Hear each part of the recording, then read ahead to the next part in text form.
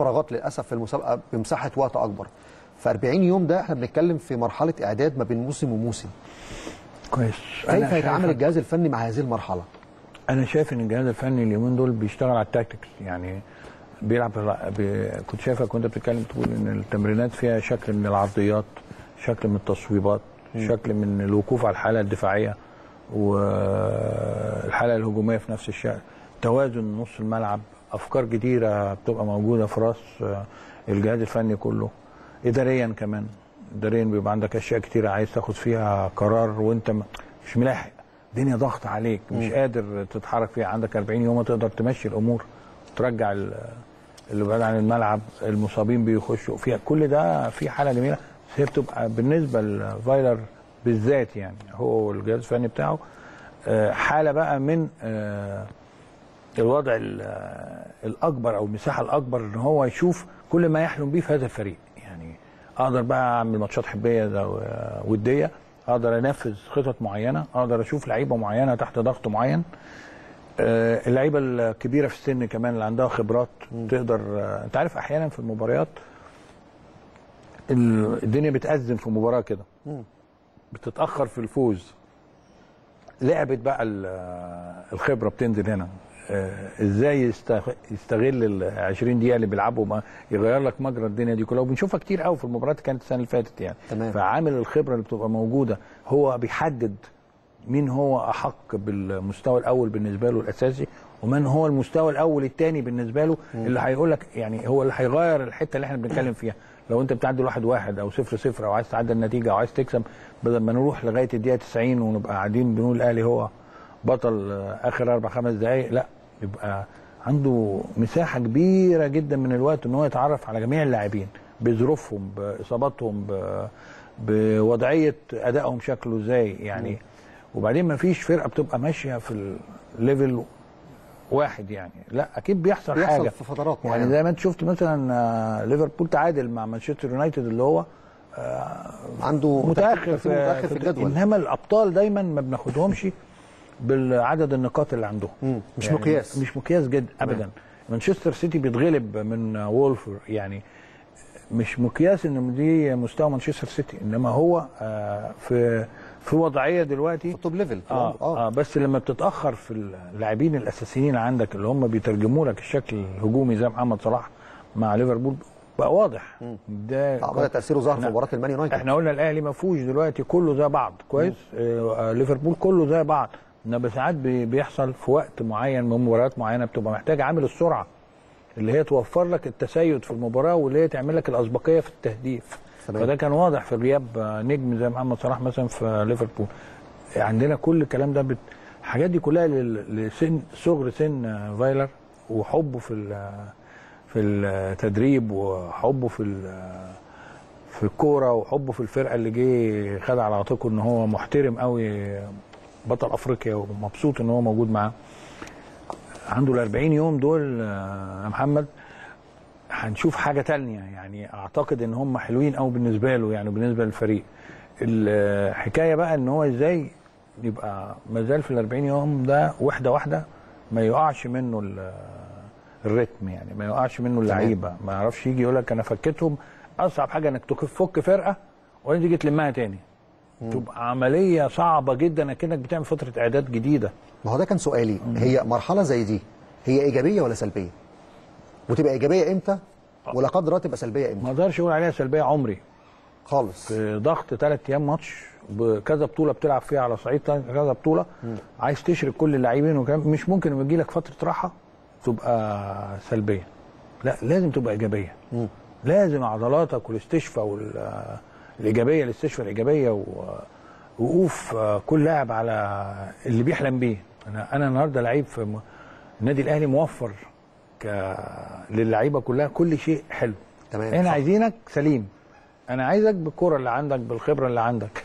فكل واحد لما يجيله راحة زي دي يحلم بقى بال بالتنافس.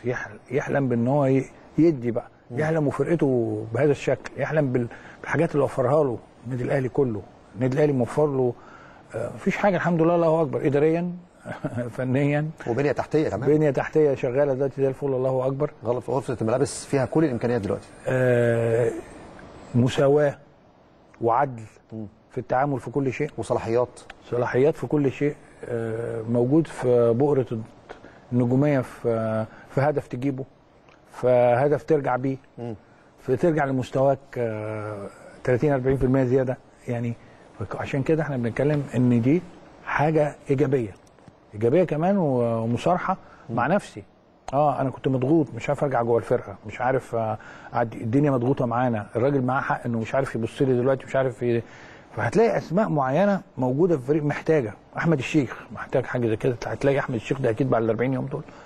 المفروض أشوفه طلقة جوه الملعب ما لقوش راحت منه. يعني آه لعيب زي ديانج ده كويس. يبقى عندك انت وفايلر وديانج والجهاز الفني والجهاز الإداري وكل حاجة لغة تعارف بقى تانية بعد ما إحنا شفناه في في الأداء ال- الرسمي. انت ممكن تشوف لعيب في أداء ودي ماشي ماشي الحال إنما الأداء الرسمي ده مختلف تماما حتى لو انت لعيب كبير قوي تحت ضغط أي مباراة رسمية الدنيا بتبقى متحولة تاني. طيب الفترة دي يا كابتن شريف هو مش هيبقى معاك التيل كامل يعني الفرقة كلها مش هتبقى موجودة معاك. التيم ساعتها هيتاخد منه لعيبة في المنتخب الأولمبي ما بين حوالي أربع إلى خمس لاعبين. المنتخب الأول ممكن يضم حوالي ست سبع لاعبين. المنتخب التونسي عنده تصفيات إفريقية زينا فممكن يتاخد مننا علي معلول. اليو ديانج مش عارف مالي هتستعين بيه في بطولة إفريقيا تحت 20 سنة ولا لأ. فممكن ما يكونش مع فايلر في كويس. الفترة اللي جاية. فبنتكلم ما يقرب من حوالي 12 13 لعيب. بنتكلم في نص ال team نص الفرقة. اللي إحنا لسه متكلمين فيه حالا اللي هو اللعيبة دي هتجيب نفسها. اللعيبه دي هتتمتع مع فايلر على اللي في دماغه.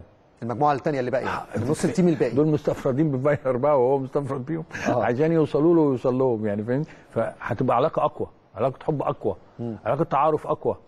هو كمان هيشوف آه، براحته. يعني بدل النهارده ما هو عامل برنامج السبت لحد الاثنين آه، في لا هيبقى السبت والحد والاثنين والثلاث والأربع يجي الخميس يعمل لهم آه، مباراة ودية مثلا. مباراة ودية. يستش يستشف كل الأداءات وكل ال tactics اللي حصلت في الملعب. بعدين خلاص بقى هيبقى فايلر وبقية اللعيبة. خلاص يعني أنا مدرب لو رحت في فريق جديد وجا عبال ما أحفظ أسماء اللعيبة كلها هيبقى في مواقف. لازم أشوفه في ماتش أشوفه في موقف أتعرف عليه من مباريات قبل كده. باخد وقت. بالك عشان احفظ اسمه أو اعرف ده مين أو أو اركز معاه أو أو لو عنده فرصة دلوقتي كتير قوي واللعيبة عندها فرصة مع المدير الفني وعقلية المدير الفني ومتطلبات المدير الفني في المرحلة اللي جاية والتكملة. خلاص هو حط لهم البنية التحتية زي ما انت قلت. أنا هو عارف ان النادي الاهلي لا يخسر. النادي الاهلي بيلعب على ثلاث نقاط دائما في أي بطولة في أي مباراة حتى المباراة دي حتى المباراة الرسمية حتى ضد أي حد. عشان كده انت جبت 19 هدف في فرق. في في دورين يعني تمام. في أفريقيا فما في المأخذ مأخذ جد الكل عايز يشارك الكل عايز يبقى له وجود فهو ده الأساس ال- التحتي بتاعنا اللي إحنا بنشتغل عليه والمبدأ بتاعنا فتسألني هو النادي الأهلي ليه كده؟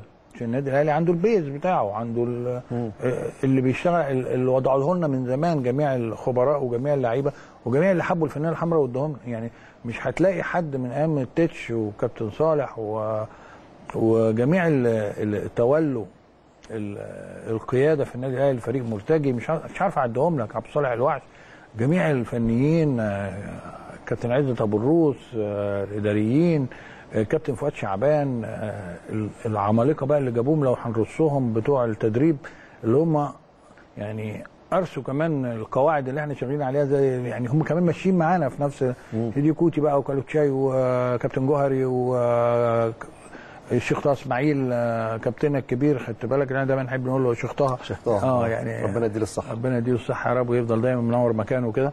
فمع ناس كتير قوي. شوف جه علينا لعيبة قد إيه وجاء علينا مدربين قد إيه وكلنا لغة واحدة. عمرك ما هتقعد مع واحد أهلاوي اهلاوي و... وتلاقيه متغير أو هو عنده مبدأ واحد. إلا إذا بقى لو أنت كبرت في السن وبقى عندك آه، فوق ال 60 سنة و 65 سنة و 66 ربنا يديك العمر. وبتتصرف اي تصرفات انت مسؤول عنها بس هي المرحلة لغاية ما وصلت لغاية دي انت كنت زينا يعني. لأن انت بقى بتتصرف حاجة تانية دي بعد كده دي حريتك انت الشخصية يعني انك انت بتشوف لك آه، شكل معين. آه، انما هتفضل برضو انت ابن النادي الأهلي هتفضل انت نفس الشكل وعارف الصح فين والطريق الصح فين. يعني مش هتبعد قوي يعني. فهو ده النادي الأهلي. يعني. حتى لو أنا يعني عايز أبقى في المنظومة بأي شكل يعني ليه باب؟ لينا باب يعني ما نعرفش نخش منه.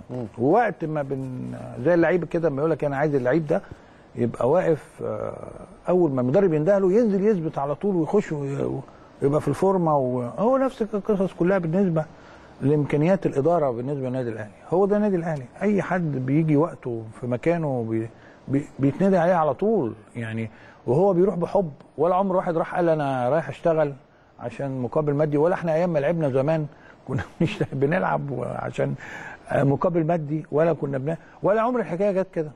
فأول ما تلاقي حتى الحاجات الصغيرة دي بتحصل مش النادي الأهلي. ده مش مش إحنا. مش مدرسة الأهلي. مش مش مش هتلاقي ده مش النادي الأهلي.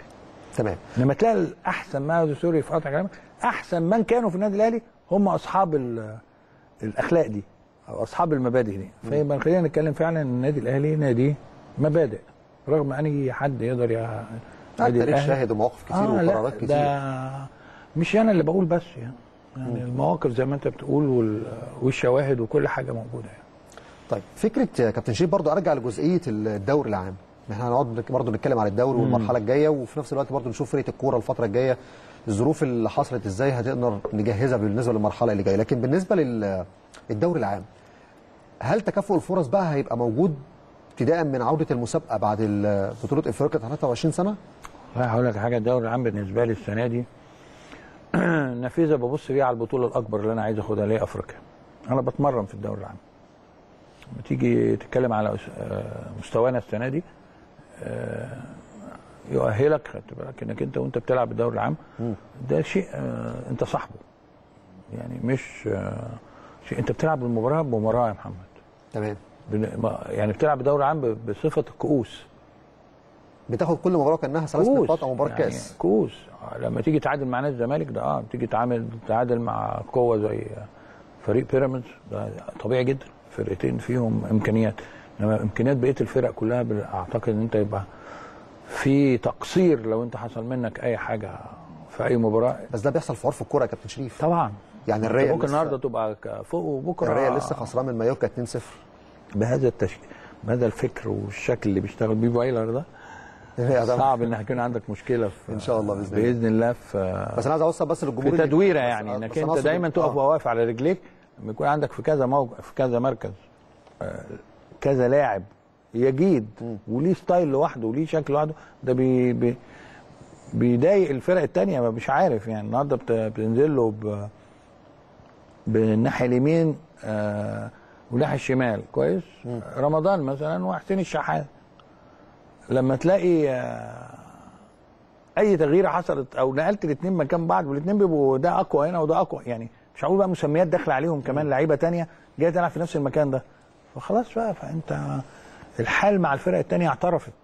اعترفت إن كل الناس اعترفت في الشكل إن آه، مقابلة النادي الأهلي مقابلة صعبة جدا مش مش سهلة. الطمع اللي كان بيحصل في النادي الأهلي رغم الإصابات ال 17 لعيب و18 لعيب السنة اللي فاتت خلاص ما بقاش آه، في في الطمع ده.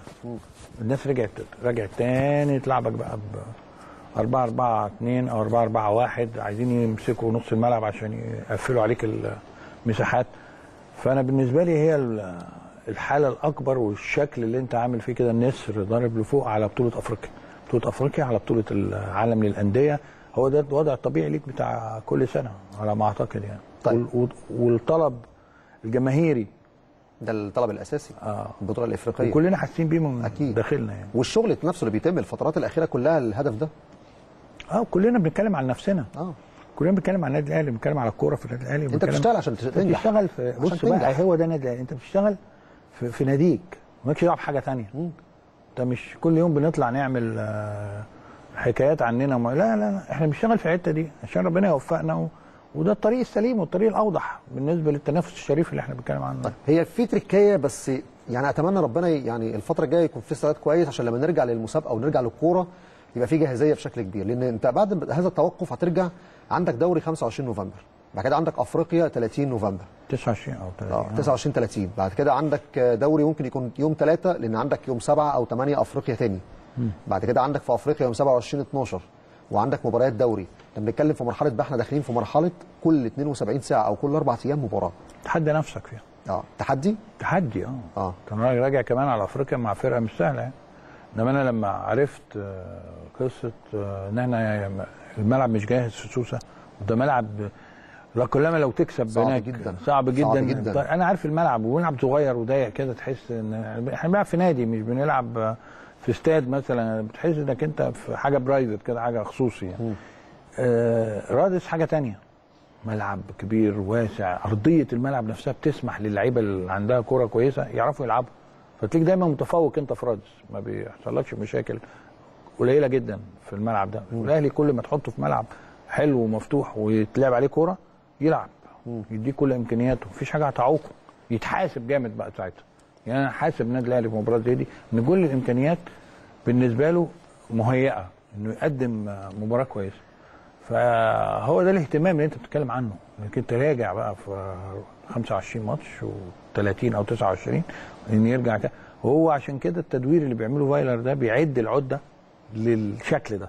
مظبوط. ما يقعش منك حد في ال... ولو وقع منك حد يبقى موجود ال play maker اثنين الأطراف اثنين الفراودة تدويرة من جوه. أنت مش عارف النادي الأهلي النهارده مين اللي بيلعب راس حربة أو أو شكل ولا مروان، صلاح محسن. ولا لما يرجع. مروان ولا هيبقى أجاييه ولا تحركات آه، رمضان الخطيره اللي هو شوف لو تشوف الحاجات اللي انت بتجيبها رمضان تلاقيه ما بقاش على الطرف خالص يعني. ده راجل بيستلم الكورة يخش من جوه يطلع من بره بقى بيمشي ال game على حسب الشكل البدني العظيم اللي هو وصل وسرعة في اتخاذ القرار وال finish اللمسة الأخرانية. اللمسة الأخيرة. اللي كانت بت, بت دايما نتكلم عنها.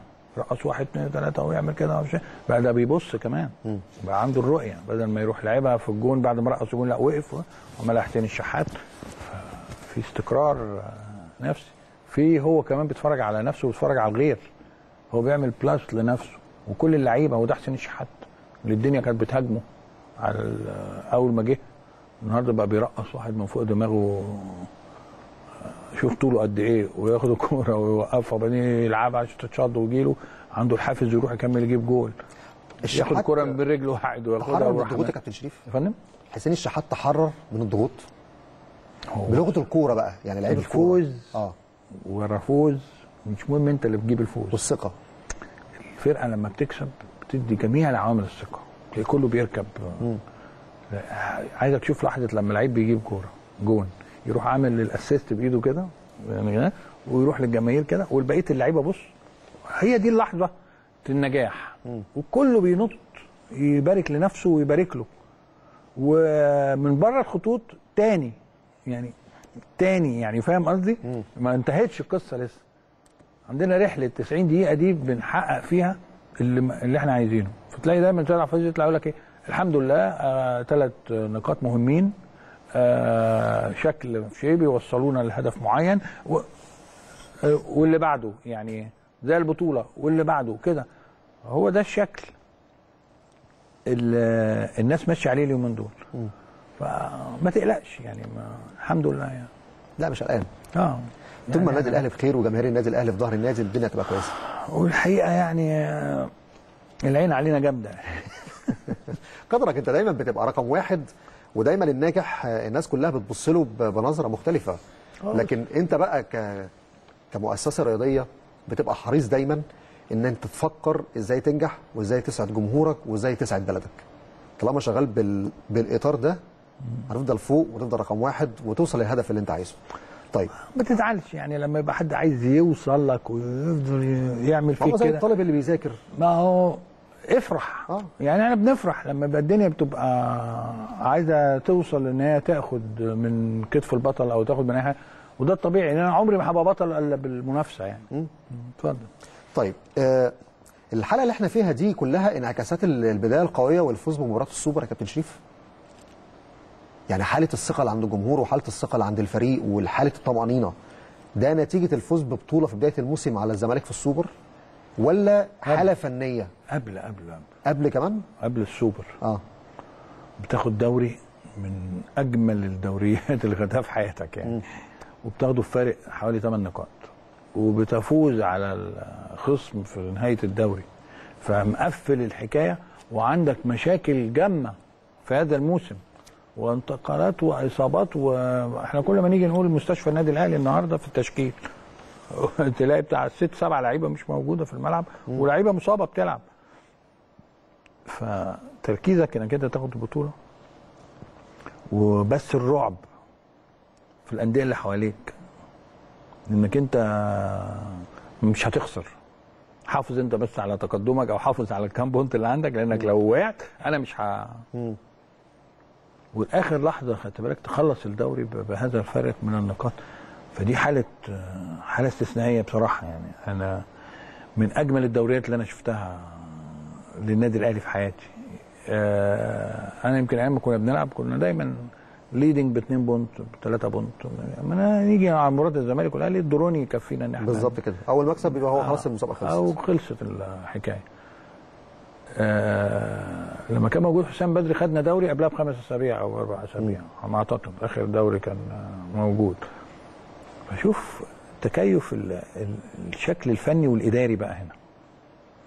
يعني بتبقى حكاية ما اتغيرتش. وربنا كرمك كمان بمدرب لما جه يمكن من أحسن المدربين اللي جم. فكانوا بيسألوني هل فايلر سيكرر آه، ما فعله مانويل جوزيه؟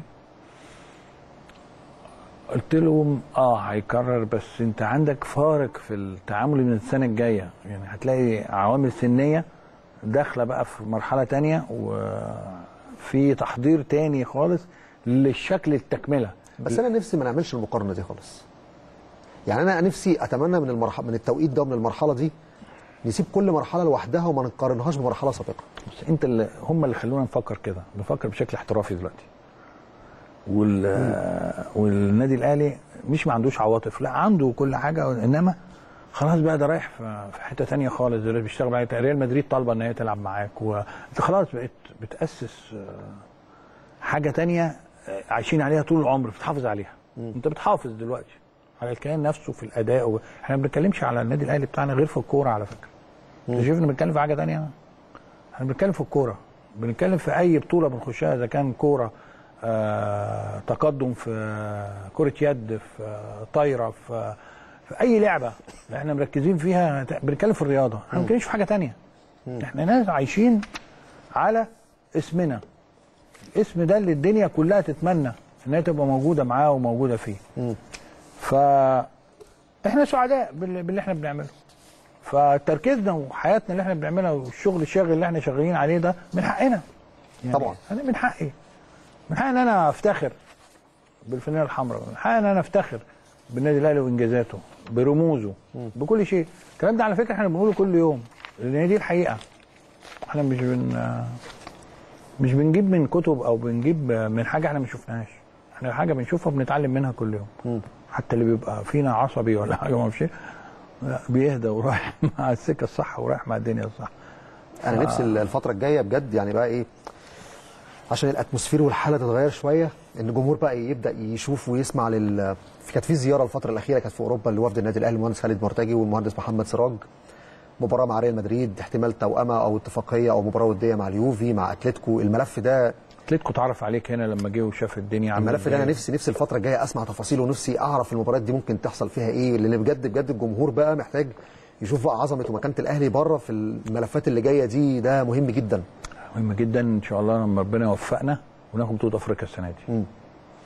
دي مهمة بالنسبة لي قوي يعني يمكن أنا كان ليا تصرف لوحدي كده لما راحت مننا البطولة السنة اللي فاتت. و يمكن زي ما أنت بتقول إحنا عندنا رؤية وإحنا إيدينا مش جوه يعني بعيدة شوية. إنك أنت توصل لنهائي أفريقيا ده شيء مش سهل. وإنك توصل باللي حصل لك السنة اللي فاتت وعلى صعيد أربع خمس بطولات كنت بتشترك فيها وما عندكش. آه كل اللعيبة اللي كانت موجودة متوفره بهذا الشكل أو ال- الحاله الاستشفائيه اللي موجودة ما يعني توصل final صعب عليا أول final صعب عليا أول المجهود الكبير اللي اداريا وفنيا ولاعيبه وكل حاجة وصلوا لهذا اليوم. صعب عليا قوي إنك أنت بتفوق 3-1 هنا وبتخسر البطولة. صعب عليا فجات لي حالة كده وأنا قاعد في قناة الأهلي. ف دايما لما بيحصل لنا الحاجات دي بنعمل إيه؟ بنقول عايزين revenge مرة خسرنا ومرة ما وصلناش لل final كويس. ودايما بيبقى فعل فاعل على فكرة. فبنعدي في ظروف آه، أقوى مننا. النهايات السابقة كانت فيها أحداث غريبة شوية. أقوى مننا بجد يعني و... حاجة مش في الكورة يعني. آه. اللي بيحصل فينا ده مش في الكورة. ف دايما بيجي لك وقت بقى وبتقول إيه؟ ده أنت لو النهارده قدرت بإذن الله تتوافق وتاخد البطولة دي وتروح تلعب بطولة العالم خلاص بقى أنت الفرح آه، في أوروبا بي- بيحطوا حاجات في العربيات كده خدت بالك؟ ويقول لك ده ويدنج كويس؟ بقى- أنت بقى هي الحاجات دي بقى اللي هتفضل تعمل لك صوت ورا؟ تك تك تك آه. وأنت ما شاء الله. لغاية دلوقتي بنعرض وبنتفرج على حافله الأهلي لما كانت خارجة من مطار القاهرة ولفت أرجاء مصر. بعد العودة من آه، اليابان 2006 بالبرونزية. شفت ده. أنا عايز بقى الفضية. لو وصلت للفضية هتلعب على ال final. يمكن تضرب معاك وتاخد ال final. هو الأهلي دايما بيفكر واللعيبة اللي معاك دي. والمدرب ده ده بتاع بطولات كبيرة. إن شاء الله بإذن يعني الله. بإذن الله يعني أنا بقول أنا عشان كده مش عايز أقارن كل مدرب بمرحلة مدرب آخر. يعني نفسي نفسي يا كابتن هو ماشي في ماشي يا محمد في في المستوى كويس بتاع اسم النادي اللي هو آه، كفاءة. يعني إحنا إحنا بتوع شكل معين. إحنا ما إحنا ما بنقلش. أنت ما تجيش تقع بيا وتنزل. عشان كده في مدربين بيتغيروا.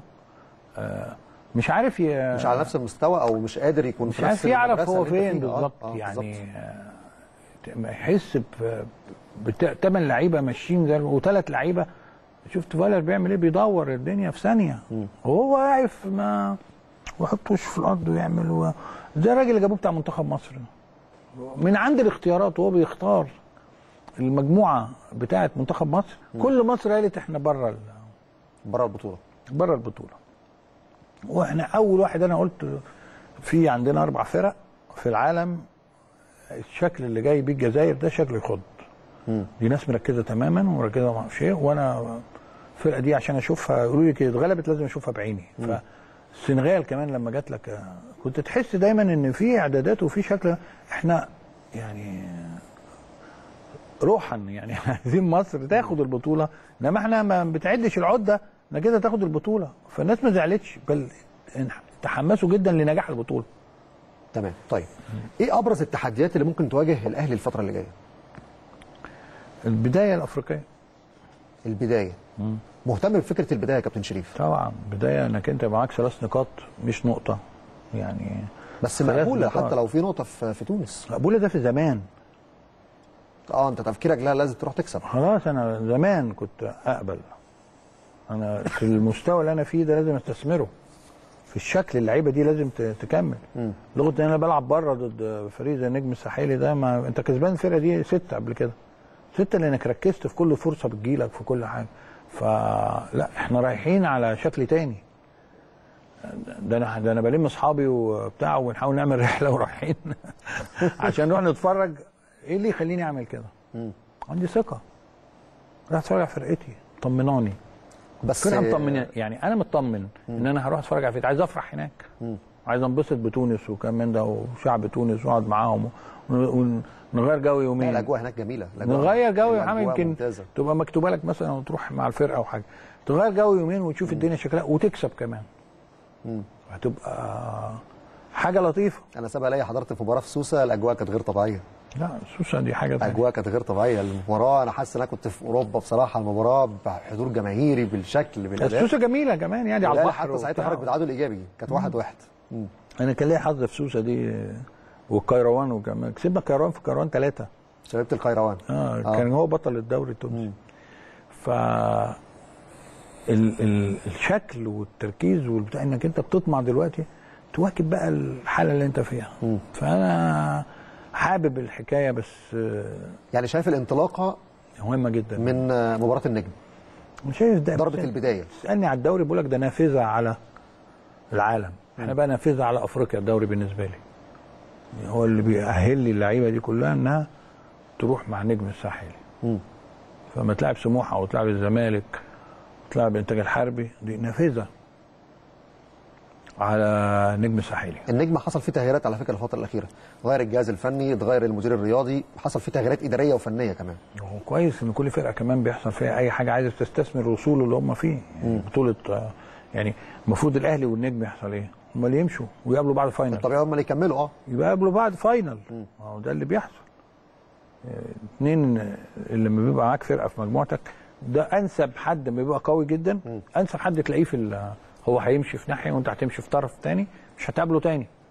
أنت هتقابله في الفاينل بس. إلى حين الأدوار النهائية. إلى حين المباراة أدوار- النهائية يعني. آه المباراة النهائية. فدي بتبقى حاجات كويسة. عندك الوداد وعندك ما زال آه، ترجي. ومازيمبي و...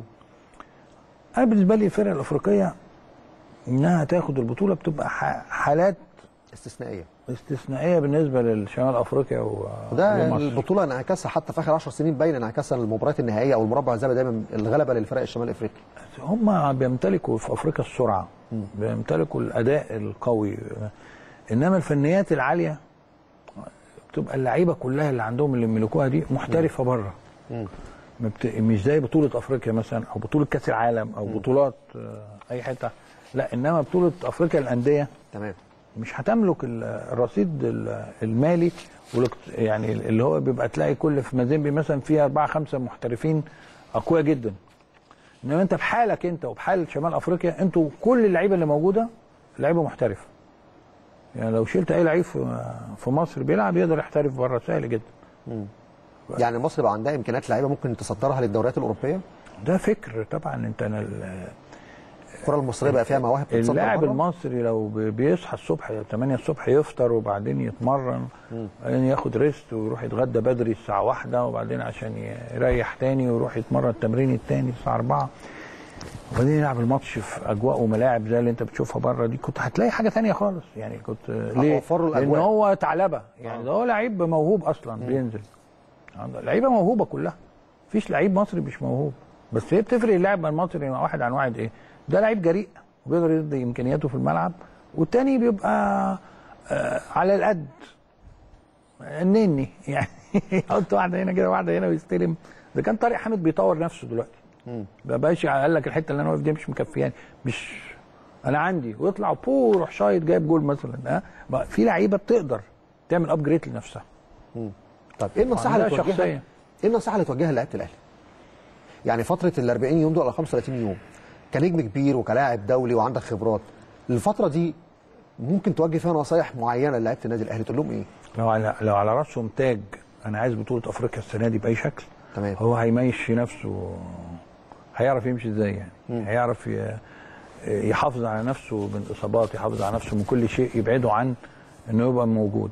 يعني عارف السكة إيه وعارف الطريقة إيه وعارف طريقة النجاح إيه. يعني هم عارفين يعني كل واحد فينا عارف. لو نام بدري قبل الماتش بثلاث أربع أيام ومسك نفسه والدنيا ماشية وبيتمرن كويس قوي خلاص وصل للملعب آه، راجل سليم. طب ربنا مديني موهبة ومديني إمكانيات ومديني سرعات مش عايز أز- أنق على رمضان. هو ده رمضان صبحي اللي إحنا كنا لسه الموسم طويل يا كابتن شريف. ها؟ لسه الموسم طويل. آه لا. يعني الراجل اللي بيعمل عرضيات سبرنتات وبتاع هو عارف خلاص. نخلي الكلام ده في آخر الموسم طبعا. مش قصدي أنا بحس... أنا ما بتكلمش لا. بوريك اللعيب عمل إيه في نفسه. شفت علي معلول عامل إزاي؟ تمام الحمد لله. شفت آه، حسين الشحات؟ شفت أحمد فتحي رجع منين؟ من زيادة في الوزن وبتاع و... وبيروح يجيب اجوال وبيعمل عرضيات وواقف على حلو ومش شايف حد قدامه. وأنا أحمد فتحي بتاع المنتخب وأنا أحمد فتحي اللي كنت بوقف أحسن ونجات بتوع غانا وبتوع كوت ديفوار وبتاع. شفت اللعيبه عامله إزاي؟ هو ده ال- السؤال اللي انت بتسألوني اللعيب يعمل إيه. هو عارف السكة. آه اللعيب من جواه عارف عارف السكة. الطريقة وعارف الدنيا تعمل فيها إيه. لأن خلاص ما- شاء الله ادالهم جاب لهم فايلر آه. والجهاز المعاون الجهاز الفني. راجل عادل آه. ما بيشوفش غير أول ما جه لعب أحمد فتحي. ما لعبش محمد هاني. لا واحد بياكل النجيلة وبي... من أول لمسة في مباراة ودية. وخد بالك إحنا كلنا بن... انت بتعرف تتفرج وأنا بعرف اتفرج وبعرف اللعيب ده بيعمل لنفسه upgrade ولا اللعيب ده هيبقى موجود ولا مش هيبقى موجود. فمش هتحس ان في حد ظلمه فبقت ال... ال... المساواة في العدل خدت بالك؟ بيسموها إيه؟ ظلم في العدل ظلم. بالظبط. يعني فهمتني؟ فمش عارف آه، بالظبط. ما يديكش حقك. لا هيديك حقك. لأن مهما اللي قدامك ماشي كويس تمام. آه بس المستوى الأول راجع وراجع بقوة. يعني. تمام. طيب كابتن شريف أنا بشكرك ولو كلمه اخيره تحب تختم بيها حوارك أو لو تحب تعلق عن المرحلة الجاية بالنسبة للكرة المصرية والدوري إن شاء الله بعد انتظامه بعد نهاية بطولة إفريقيا تحت 23 سنة. خلينا دايما نركز بالنسبة للمستويات بالنسبة للبطولات لمصر. آه، نسمح للمدربين الفرصة واللعيبة لأن هم لعيبتنا برضو اللي إحنا بنتفرج عليهم في الدوري هم اللي بنتفرج عليهم في المنتخبات. بالظبط. خلينا نديهم المساحة إن هم يقدروا يحققوا بإذن الله المشوار ويطلعوا من أول ثلاثة يروحوا اليابان بإذن الله. بإذن الله. آه، بالنسبة لل الدوري بقى للدوري الله. والدوري بإذن الله يا أهلي ال 42 بإذن الله. إنما بالنسبة لي أنا هبقى جمهور فجأة كده وأنا قاعد معاك ماليش دعوة أنا كنت بلعب كورة قبل كده ولا شيء. أفريقيا يا أهلي. أفريقيا يا أهلي. أفريقيا يا أهلي إن شاء الله بإذن الله. بإذن الله. نورتني وشرفتني كابتن شريف وكل التوفيق ليك. وبسعد دايما لما بكون موجود معاك. وأنا دايما ببقى معاك إن شاء الله. ميرسي قوي الله يخليك كابتن شريف. شكرا جزيلا. حلقة كانت مهمة جدا وفقرة كانت مهمة جدا مع الكابتن شريف عبد المنعم وإحنا بنلقي الضوء على الأحداث الأخيرة والقرارات الأخيرة اللي صدرت بخصوص الدوري العام في الفترة القادمة. وناقشنا قدر الإمكان إزاي المرحلة دي إزاي يستفيد بيها النادي الأهلي عشان ينطلق للأمام؟ لأن بعد نهاية ال- ال- التوقف الدولي الأهلي مقبل على أجندة ورزنامه صعبة جدا. صعبة مش في المستوى الفني اللي هيلعبه لا صعبة في المواعيد والارتباطات وضيق الوقت ما بين المباريات في المرحلة اللي جاية. قبل ما أخرج إلى فاصل عايز اكد على في تقرير مهم جدا استكمالا اللي إحنا كنا عرضناه في فقرة الإنترو إن النادي الأهلي كان أقام حفل غنائي احتفالا بانتصارات أكتوبر. هذا الحفل بالتأكيد كان فيه فريق القرال في النادي الأهلي يشارك في هذا الحفل وفي فقرات فنيه عرضت من خلال هذا الحفل. نخرج لهذا التقرير نشوف تفاصيل أخرى من خلال هذا الايفنت وخلال هذا الموضوع. وبعد الفاصل أستضيف دكتور ياسر عبد العظيم عميد كلية التربية الرياضية جامعة الزقازيق آه، السابق. طبعا هيتكلم معانا بقى عن فكرة النواحي التنظيمية والنواحي الإدارية والنواحي الفنية المتعلقة بالدوري الممتاز وكمان الشغل الأكاديمي اللي موجود في الجامعات والكليات مدى تأثيره على كرة القدم والرياضة بشكل عام. نخرج لهذا التقرير ثم نستضيف دكتور ياسر عبد العظيم بعد هذا التقرير.